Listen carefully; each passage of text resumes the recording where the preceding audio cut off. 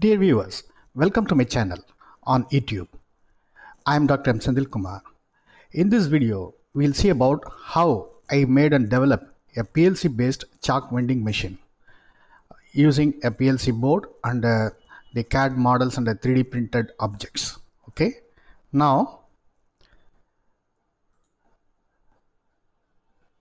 I just uh, two points, the two highlighting points in this particular uh, project.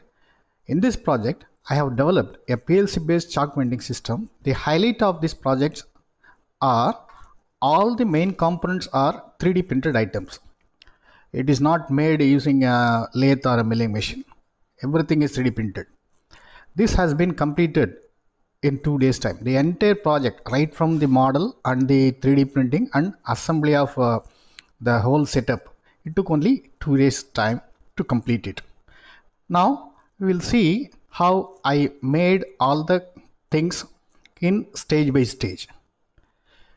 Uh, this is the solid model video that have been uh, obtained from the SolidWorks software. I just play it. So this is the base. On it, the first 3D part member, I'm fixing it. The green one is the bearing. The roller on which only the the chalk piece will be deposited and uh, it is being dispensed. The collection tray, if you press this, the chalk will be dispensed over this tray and you can collect it from here. The another 3D printed object. This is the 3D printed part for the motor base. This is the toll load DC motor and this is the hopper. So on it you have to uh, put the chalk pieces. So this is the CAD uh, uh, model that I have developed. Okay. And the next slide we'll see about how the chalk piece is uh, dispensed. Let me play it. the collection tray, if you press it, you see now I'm now I'm about to press this one now okay now I pressed. The moment I pressed the PLC system will uh, switch on the motor and uh, the chalk piece will be collected from this uh, hopper point and it will be dispensed over this uh, collection tray. Okay you can collect it you can collect the chalk piece uh, from this tray. Okay so this is the the working setup for dispensing the chalk piece. This is the first 3d printed part the two uh, bracket shaped uh, component. This is the main roller so it has got uh, three slots for on three slots only only the chalk piece will be seated over while in motion. And this particular hole is provided for fixing the neodymium magnet. So this magnetic uh, uh, field will be sensed by a potential free magnetic sensor. Okay? Then this is the another 3d printed item uh, for the motor uh, for fixing the motor over this particular member. And this is the collection tray. So if you press it once only once uh, the the system will uh, will be switched on till uh, it gets a stop signal. Okay uh, this is the hopper. So on it on this only you have to put uh, the uh, chalk pieces. These are the two bearings that I used. The ID is 30 mm OD is 42 mm the width of the bearing is 7 mm okay. Uh, this is a 12 volt DC 10 RPM motor that I used.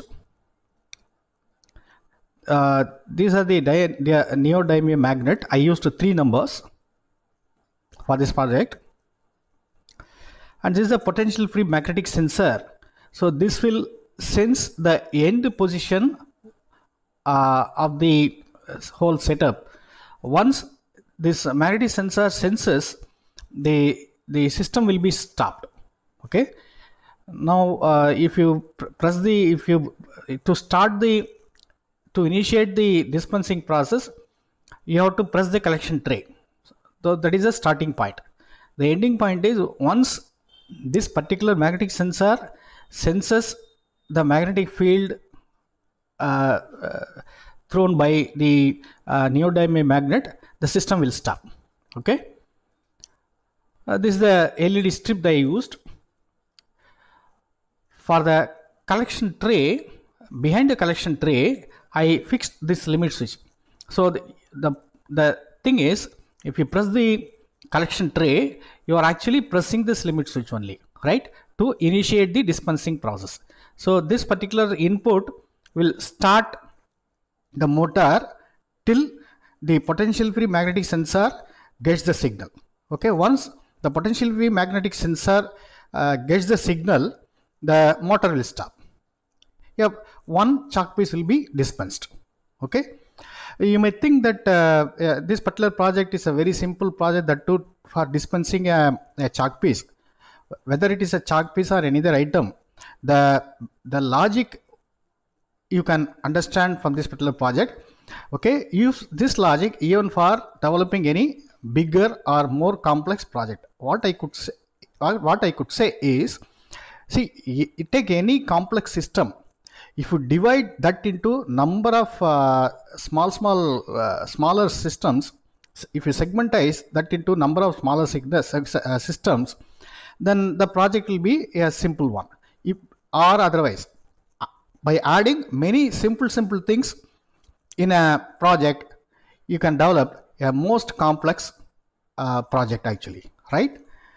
Uh, this is the 12 volt smps so input uh, is the 220 volt ac the output is the uh, uh, 12 volt dc supply power supply you get it because for both for uh, both the plc as well as the motor it requires only a 12 volt power supply only uh, this is the PLC that I used. It is a 14 MR PLC. So here the, at the maximum you can insert, uh, it has got uh, 8 inputs and 6 outputs.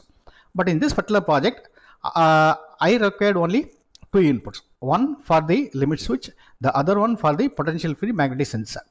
The output, uh, the output number 1 and number 2, I used it for uh, switching on the 12 volt DC motor. The output 3 used for switching on the LED uh, strip okay now we'll see how I made the assembly okay? Now this is the base acrylic sheet. Okay? On it on it uh, I fixed uh, the first uh, member. Okay? Here there is a hole here. I'll be fixing uh, I fixed the uh, bearing also ball bearing also. Then I inserted the roller and the collection tray uh, printed with press me the another bracket. And you see the magnet is fixed here okay there are three magnets there are three slots and three magnets okay so this magnet is very important so with this only you you, you are able we are able to get a signal from the potential free magnetic sensor okay so uh, all the 3D printed parts were assembled here. Now this side will be uh, fixing the motor with the bracket. So a bracket is fixed here. Okay, with respect to that, a motor is also fixed. The motor is coupled with uh, this roller by using a M3 uh, Allen screw here. Okay. Now on the rear side, if you see, I fixed the uh, limit switch. So the point is the uh, if I press this collection tray, I'm actually pressing the limit switch, thereby I'm initiating the process. Okay, if I press the uh, uh, collection tray, actually I'm pressing this limit switch. Once the limit switch uh, signal is obtained by the PLC, it will start uh, switching on and rotating the 12 volt uh, motor. Okay. Now I added 12 volt SMPS also. Now uh, I fixed another uh, acrylic sheet okay uh, to make this as a cabinet okay I I connected the wire for the 220 volt AC power supply. Now you see this side I fixed the uh, uh, the PLC and I gave all the necessary connections for both the motor limit switch and the power supply. Now everything is ready now. Okay now, now you can see the hopper only in this particular slide. After that i'll be removing this hopper for demonstration purpose okay? Uh, now you see uh, the cad model is there in my laptop okay? It has uh, it is it has been developed uh, uh, in uh, solidworks software. And this is the real objects that i assembled here okay? Except the color. All other things are common or same okay dimension wise then I connected the PLC with my laptop through this RS232 um, serial port cable interfacing cable. So now it is ready for uh, uh, fusing the program from my laptop onto the PLC now. Okay now in the next slide you see uh, this is my PLC program.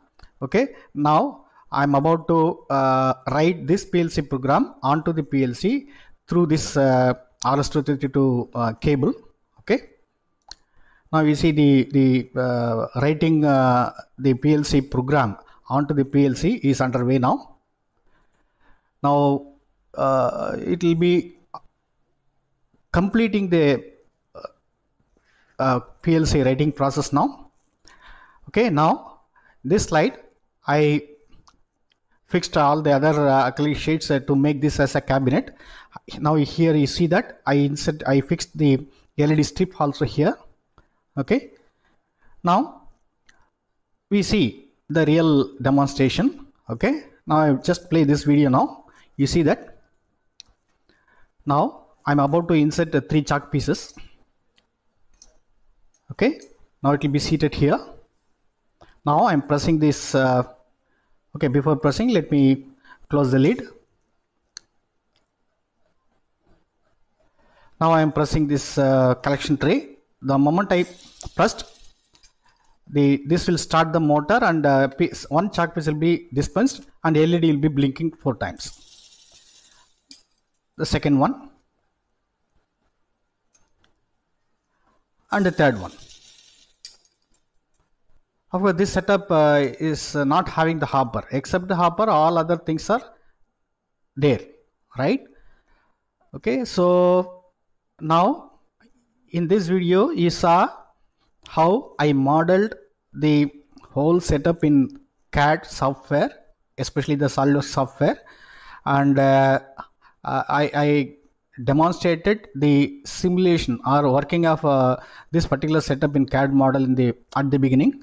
Then in the uh, next slides you saw about the 3D printed parts and the ready-made parts like uh, motor switches LED strips etc okay? Then uh, you saw the stages of uh, assembling and making the uh, this particular uh, chalk piece vending setup or the system. Okay? Now I think uh, you you understood the process of uh, fabricating this particular project right from the CAD model up to the real model. Okay? This would have given you an idea about to develop this kind of pro, uh, projects on your own. Okay? Thank you for watching. Okay? Good luck